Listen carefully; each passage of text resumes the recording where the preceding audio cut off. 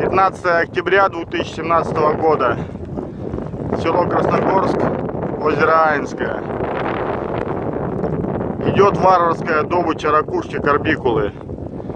Начали ее ловить с июня, но вроде приостановилась одним кунгасом. Сейчас уже на трех кунгасов ловят.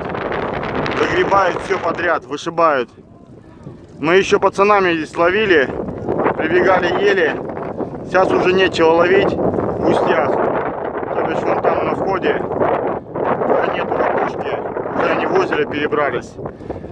Заповедная зона. Не знаю, кто разрешил, кто вообще росчерк дал добывать здесь заповедники. Вышибают все подряд, просто все подряд. Мелкую, крупную. Скоро ничего не останется. Восстанавливается будет лет 30-40, наверное.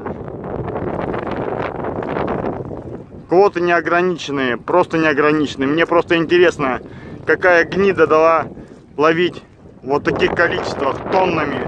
Вывозят в день по тонн, по полторы, две, три, четыре тонны. Вышибают, просто, просто под корень вышибают. Если раньше можно было ее руками ловить, все, сейчас уже не поймаешь ее руками. Нашим детям просто не останется. Максимальная просьба у кого есть WhatsApp, скидывайте дальше. Может дойдет до человека, который может это прикрыть варовское, варовское истребление ракушки. Приехали приезжие. Ладно бы, если бы наши кто-нибудь ловил бы там, может, не в таких количествах. Приезжие приехали, хапнули, уехали. Нашим детям просто ничего не останется.